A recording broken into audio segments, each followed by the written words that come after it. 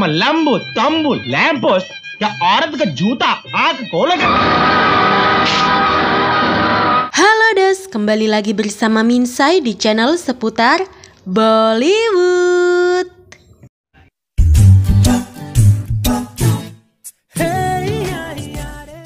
Kali ini, Minsai akan menceritakan alur cerita film Loverboy, film tahun 1985. Film ini dibintangi oleh Rajiv Kapoor yang berperan ganda, yaitu sebagai Kisan dan Kanhaya, Menaksi Seshadri sebagai Radha, Anita Raj sebagai Bijli, Tanuja sebagai Malti, serta beberapa artis lainnya.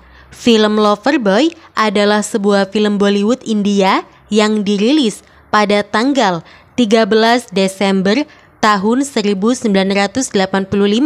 Film ini menceritakan tentang dua anak kembar yang terpisah dan mereka bertemu ketika mereka dewasa. Jika kalian suka dengan video-video yang ada di channel ini, silahkan subscribe dan nyalakan loncengnya.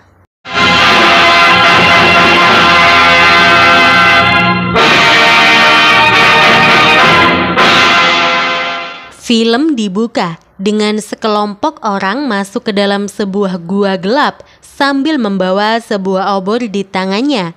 Di gua itu terdapat sebuah patung emas dan ada juga tengkorak yang tergeletak. Salah satu orang mengambil patung emas yang ada di gua itu. Orang yang mengambil patung emas bernama Prakas dan orang yang berdiri di samping Prakas adalah Rai yang merupakan atasan Prakas. Prakas difitnah membunuh kawan Rai dan Prakas juga difitnah ingin menguasai patung emas itu. Polisi datang menangkap Prakas.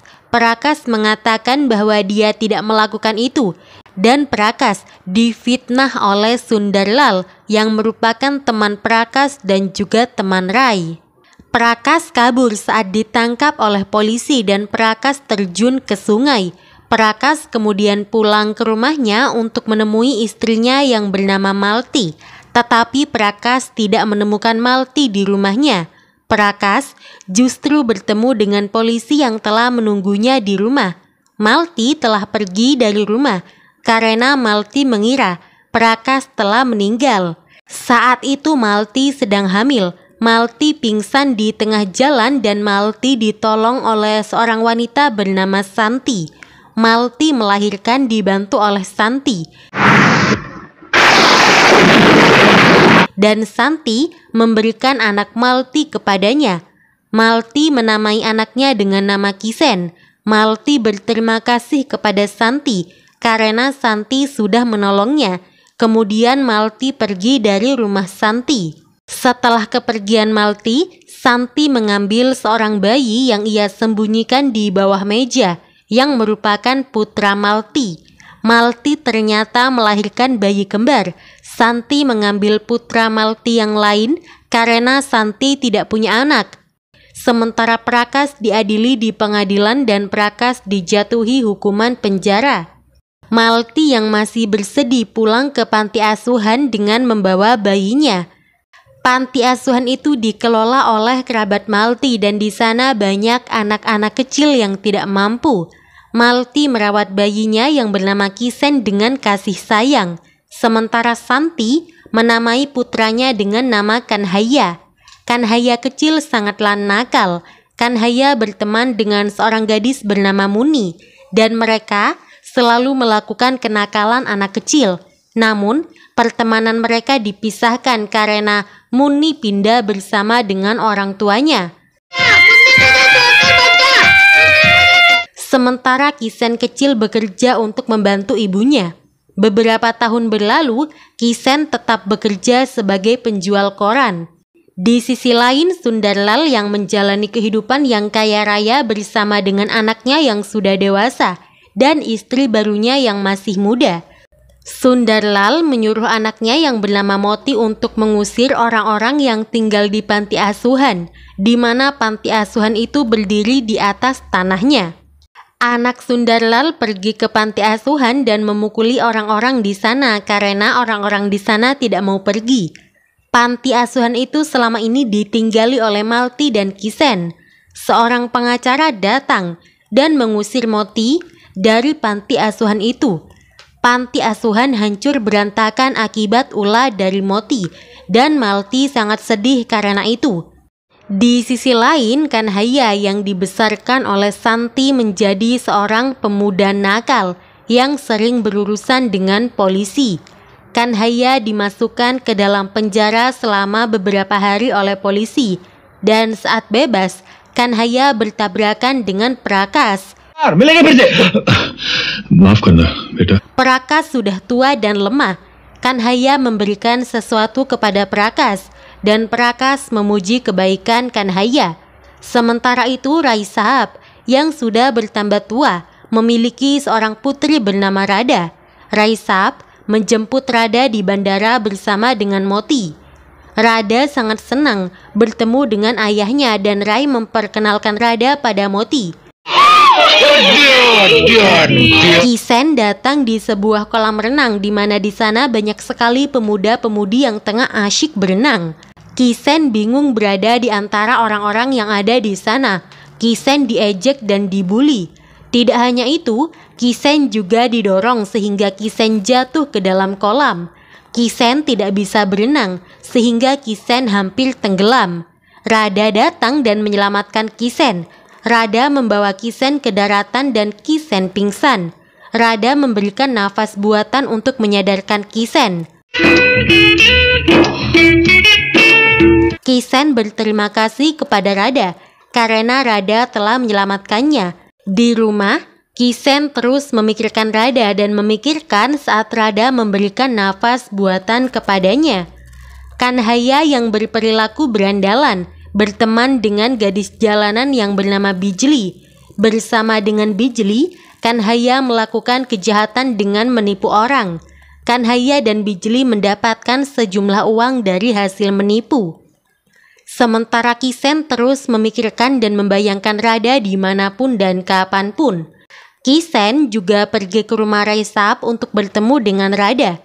Kisen sudah melatih dirinya apa yang nantinya ia lakukan dan apa yang akan ia bicarakan jika bertemu dengan Rada. Kisen juga berbicara dengan foto Rada yang dipajang besar di dinding. Rai dan Rada melihat saat Kisen mencium foto Rada dan tentu saja Rai langsung memarahi Kisen. Tidak hanya Rai yang marah, Rada juga marah dan Rai memukuli Kisen serta mengusir Kisen dari rumahnya. Kisen dihajar habis-habisan oleh Moti. Kisen diikat dan diseret seperti seekor hewan dan dibiarkan babak belur di jalanan. Sementara itu Kanhaya kembali membuat ulah dan Kanhaya dikejar-kejar oleh orang banyak. Kanhaya bersembunyi dan ditolong oleh temannya. Sedangkan orang-orang yang mengejar Kanhaya bertemu dengan Kisen dan mereka menyangka Kisen sebagai Kanhaya. Jadi Kisen dipukuli habis-habisan. Kasihan banget Kisen ya dos, sudah dipukuli sama Moti, malah ditambah dipukuli oleh orang-orang yang mengejar Kanhaya. Syukurnya ada Bijli yang datang dan memukuli orang-orang yang memukuli Kisen. Kisen tidak sadarkan diri dan Bijli membawa Kisen ke tempatnya. Sementara Kanhaya bertemu dengan Malti dan Malti mengira Kanhaya sebagai Kisen. Malti mengajak Kanhaya pulang ke panti dan Kanhaya bingung dengan itu semua. Kanhaya tersenyum saat melihat semua anak-anak panti memberikan uang kepada Malti. Bahkan Kanhaya juga ikut memberikan uang kepada Malti. Saat itu di panti asuhan Moti datang bersama dengan gengnya. Moti kembali menyakiti Malti. Setelah menyakiti Malti, Moti memukuli Kanhaya. Kanhaya tidak lemah seperti Kisen, jadi Kanhaya melawan Moti dan gengnya sampai mereka lari terbirit-birit. Malti tidak habis pikir mengapa tiba-tiba Kisen berubah menjadi berani. Di malam harinya saat Malti tidur, Kanhaya berniat mengambil uang miliknya yang diambil oleh salah satu anak yang tinggal di panti asuhan. Kanhaya mengambil uang dari dalam loker dan Kanhaya menemukan foto pernikahan Malti dan Prakas. Sementara Kisen yang berada di tempat Bijli terkejut saat bangun. Apalagi saat itu Bijli berada sangat dekat dengannya. Kisen yang merupakan lelaki baik-baik disuruh oleh Bijli untuk membuka baju Bijli dan tentu saja Kisen menolak. Bijli terkejut saat Kanhaya berdiri dan melihatnya sedang bersama dengan Kisen. Bijli tambah terkejut saat melihat wajah Kisen dan Kanhaya yang sangat mirip. Itu betul. Udah betul. Bahkan Kanhaya dan Kisen juga terkejut dengan kemiripan wajah mereka yang plek ketiplek sangat sama. Kisen bertanya siapa lelaki yang berdiri di depannya yang mukanya sangat mirip dengannya. Kanhaya memperkenalkan dirinya pada Kisen dan Kanhaya memberitahu Kisen bahwa dia telah bertemu dengan ibu Kisen di panti asuhan. Kisen memberitahukan Haya bahwa dia telah dipukuli dua kali sampai dia menjadi seperti ini. Kisen juga menceritakan tentang Rada kepada Kanhaya. Rada sedang berdansa di sebuah klub bersama dengan Moti. Tiba-tiba lampu mati dan lampu mati itu memang disengaja dilakukan oleh Kanhaya.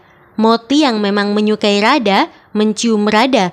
Namun saat lampu hidup, yang dicium Moti bukanlah Rada, melainkan Moti mencium Bijli. Rada marah melihat itu.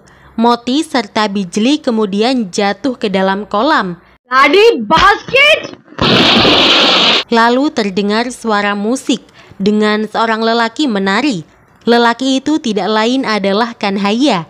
Kanhaya menari sambil menggoda Rada. Bahkan Kanhaya secara paksa mengajak Rada menari bersamanya. Kisen juga ada di sana. Dan Kisen menyamar sebagai seorang pelayan. Kisen memberikan sebuah obat ke dalam minuman dan memberikannya kepada Rada. Setelah minum minuman yang diberi obat oleh Kisen, Rada langsung terbayang-bayang wajah Kanhaya dan Rada ikut menari dengan gembira bersama dengan Kanhaya. Bahkan Rada juga ikut menyanyi bersama dengan Kanhaya. Suatu hari Rada dan Moti akan pergi berlibur. Mereka menaiki sebuah bis dan Moti terus menggoda Rada. Moti juga memberikan sebuah kalung kepada Rada. Dan di dalam mobil itu ada Kanhaya yang menyamar sebagai orang suci atau suami. Dan suami mengatakan sesuatu yang membuat Moti ketakutan. Suami membawa Rada dan Moti ke sebuah tebing. Di sana, suami menyuruh Moti melakukan sesuatu yang diikuti oleh Moti. Suami juga membawa Rada dan Moti di sebuah penginapan. Bijli juga ikut bersama dengan suami untuk mengerjai Moti. Suami membawa Rada ke tempat Moti. Pada saat itu Bijli menggoda Moti. Rada marah melihat Moti bermesraan dengan wanita lain. Moti mencoba menjelaskan kepada Rada, namun Rada sudah terlanjur marah dan suami yang tidak lain adalah Kanhaya kembali mengganggu Moti dan Rada. Moti menyanyi untuk mendapatkan maaf dari Rada. Moti juga menari bersama suami dan mencoba membuat Rada tidak lagi marah kepada Moti. Moti menari dan menyanyi sampai kelelahan dan babak belur karena ulah suami. Namun Rada masih tidak mau memaafkan Moti. Kanhaya kembali melakukan sesuatu dengan membuat Moti ditangkap oleh polisi. Melihat Moti ditangkap oleh polisi, Rada semakin marah dan memukul Moti. Rada juga akan kembali ke rumahnya seorang diri. Lalu Kanhaya muncul dan Kanhaya yang akan mengantarkan Rada pulang. Namun sebelum itu, Rada dan Kanhaya pergi ke sebuah tempat dan menghabiskan waktu bersama. Di tempat itu juga ada Kisen yang persis berpenampilan seperti Kanhaya. Kisen dan Kanhaya bergantian mendekati Rada. Awalnya, Kanhaya hanya berniat membantu Kisen mendekati Rada. Namun, Kanhaya justru jatuh cinta kepada Rada. Kisen bersama dengan Bijli melihat saat Rada dan Kanhaya menghabiskan waktu bersama. Moti yang merasa dirinya telah ditipu dan dipermainkan oleh suami yang menyamar dan juga Bijli pergi untuk mencari Bijli. Moti menemukan Bijli di pinggir sungai. Saat itu Bijli sedang mencuci baju. Moti tidak sendirian. Moti datang bersama dengan teman-temannya dan Moti menganiaya Bijli dan melakukan hal yang tidak senonoh pada Bijli. Kisen datang dan membantu Bijli dan akhirnya Bijli jatuh cinta pada Kisen yang polos. Bijli juga merubah penampilannya untuk Kisen. Sementara itu, Rai dan Sundarlal mengadakan sebuah pesta untuk meluncurkan sebuah produk yang dibuat oleh Rai Saab. Dan di pesta itu, Rai memberitahu semua tamu yang datang bahwa dia akan menjodohkan Rada dengan Moti. Rada terkejut mendengar itu dan Rada pergi dari pesta. Rada menolak untuk dijodohkan dengan Moti. Namun, Rai memaksa Rada Sedangkan Kanhaya kembali menyamar sebagai suami dan memberitahu Kisen bahwa Rai dan Sundarlal menjodohkan anak mereka. Kanhaya kemudian menceritakan kepada Kisen tentang Muni, teman masa kecilnya. Saat Rada bertemu dengan Kanhaya, Kanhaya mengerjai Rada yang membuat Rada jatuh ke sungai dan baju Rada basah karena air. Rada dan Kanhaya kemudian pergi untuk mengeringkan diri dan Kanhaya menghidupkan api untuk Rada yang kedinginan, tetapi itu hanyalah hayalan Kanhaya. Sementara itu Kisen dan Bijli semakin dekat dan Bijli sangat suka menggoda Kisen. Di malam harinya Kanhaya benar-benar bertemu dengan Rada. Rada memakai pakaian yang sangat menggoda dan Rada jatuh ke dalam sungai karena jembatan yang dilewati Rada dirusak oleh Kanhaya. Kanhaya datang membantu Rada dan membawa Rada untuk mengeringkan diri. Rada kedinginan dan Kanhaya tanpa sengaja menjatuhkan kartunya yang merupakan kartu masa kecilnya dengan Muni. Rada langsung mengenali Kanhaya dan memberitahu Kanhaya bahwa dia Muni, teman masa kecil Kanhaya. Kanhaya terkejut dan mengingat masa lalunya dengan Muni. Pada saat itu ada petir besar menyambar yang membuat Rada ketakutan dan Rada langsung memelukkan Haya. Kan Haya kemudian mengantar Rada pulang dan Raisap melihat Rada bersama dengan Kan Haya. Tentu saja Rai marah. Rai mengira Kan Haya adalah Kisen. Rada mengungkapkan perasaannya kepada Kan Haya dan Kan Haya menyuruh Rada untuk memanggilnya sebagai Kisen. Rada setuju untuk memanggilkan Haya sebagai Kisen. Kanhaya setelah itu pergi meninggalkan rumah Rada, namun Kanhaya berhadapan dengan Rai yang menodongkan pistol ke arahnya. Rai Saab memperingatkan Kanhaya supaya Kanhaya tidak mendekati Rada. Kanhaya merasa bersalah kepada Kisen karena niat awal Kanhaya adalah membantu Kisen, tetapi Kanhaya justru jatuh hati pada Rada Begitu juga dengan Rada yang menyukai Kanhaya. Kanhaya kembali meluruskan niat awalnya untuk membantu Kisen mendekati Rada. Rada mengira Kisen adalah Kanhaya dan Rada tidak menaruh curiga pada Kisen. Kanhaya hanya bisa melihat kedekatan Kisen dan Rada. Meski sebenarnya Kanhaya sangat sedih. Kanhaya mulai minum dan Bijli selalu ada untuknya. Keesokan harinya Rada mengenalkan Kisen kepada ayahnya. Rai tentu saja tidak suka pada Kisen. Saat Kisen sedang ada di panti asuhan, Bijli datang menemui Kisen. Dan Bijli memberitahu Kisen bahwa Kanhaya juga mencintai Rada. Bijli juga mengatakan bahwa Kisen telah membohongi Rada dengan mengaku sebagai Kanhaya. Dan Rada tidak mencintai Kisen, melainkan Rada mencintai Kanhaya. Kisen kemudian menghadapi Kanhaya dan memberitahu Kanhaya bahwa dia telah mengetahui jika Kanhaya mencintai Rada dan Rada juga mencintai Kanhaya, bukan dirinya. Kisen merasa dibohongi oleh Kanhaya. उससे मैं नंगा कर दूंगा Kisen juga mengetahui jika Kanhaya adalah teman masa kecil Rada. Kisen kemudian bertemu dengan Moti dan Moti akhirnya mengetahui jika wajah Kisen mirip dengan Kanhaya. Moti dan Sundarlal mengajak Kisen bekerja sama untuk menyingkirkan Kanhaya dan sebagai gantinya, Kisen akan mendapatkan banyak uang dari mereka. Kisen setuju untuk bekerja sama dengan Moti. saat Moti akan menembakkan Haya, Moti melihat Malti dan Malti bertemu dengan Kanhaya serta Santi. Malti mengenalkan kepada Santi bahwa Kanhaya adalah Kisen putranya. Santi langsung terdiam dan pulang. Kanhaya kemudian membawa Malti ke rumahnya dan Malti kembali bertemu dengan Santi. Di sanalah Kanhaya dan Malti mengetahui jika Kanhaya adalah putra Malti dan kembaran Kisen yang dipisahkan oleh Santi sewaktu bayi. Pada saat yang sama, Moti akan menembak Kanhaya. Namun Santi pasang badan sehingga Santi yang kena tembak. Sebelum menghembuskan nafas terakhirnya, Santi minta maaf dan mengakui bahwa dia telah mengambil salah satu putra Malti di masa lalu.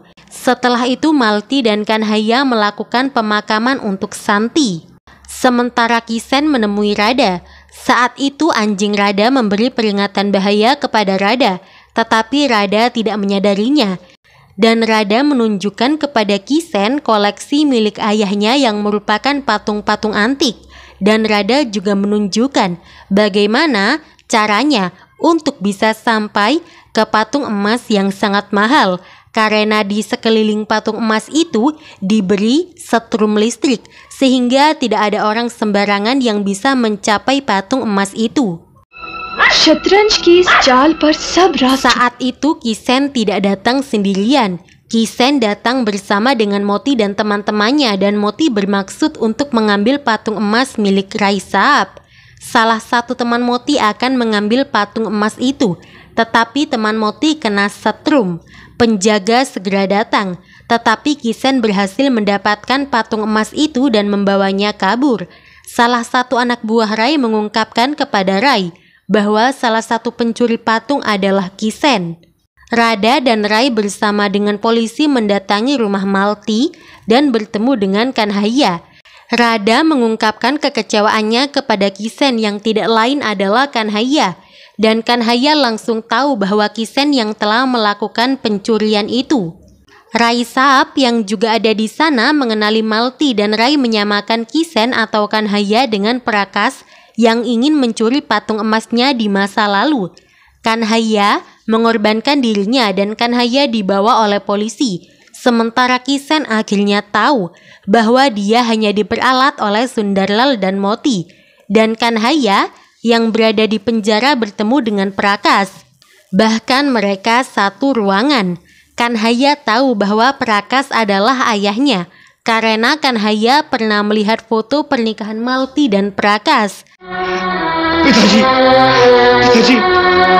Kanhaya menceritakan pada Prakas bahwa Malti masih hidup dan Malti memiliki dua anak, dirinya dan Kisen.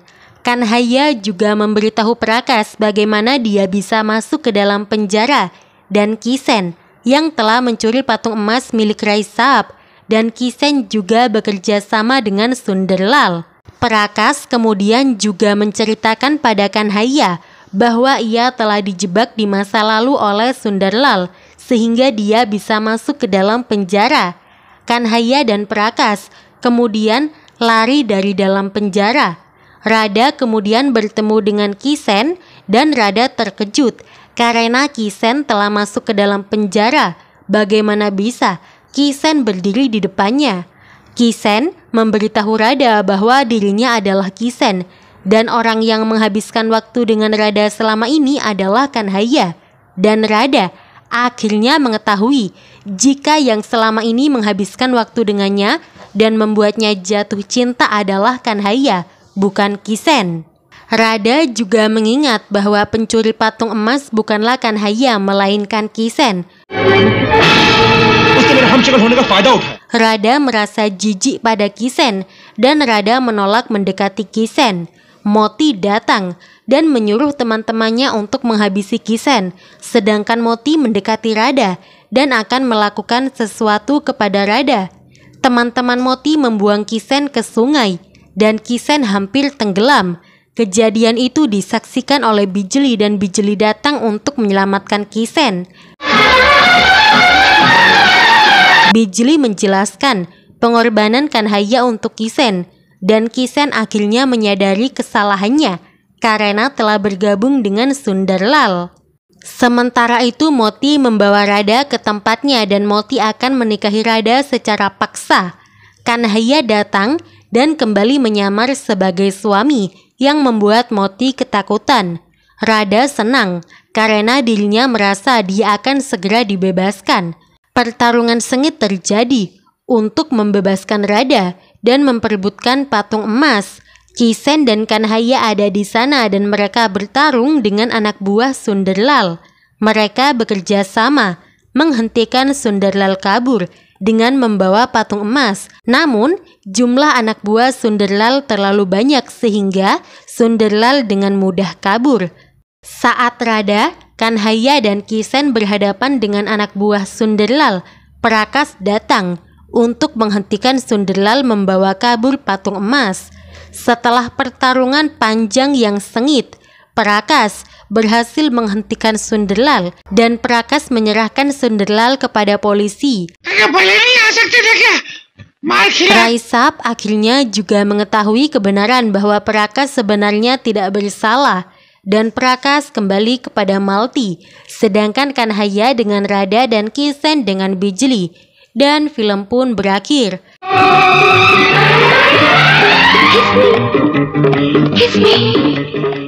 Jadi itu dos, alur cerita dari film Loverboy film tahun 1985. Terima kasih sudah menonton video ini. Jangan lupa buat selalu support channel seputar Bollywood. Pirmi Lengge.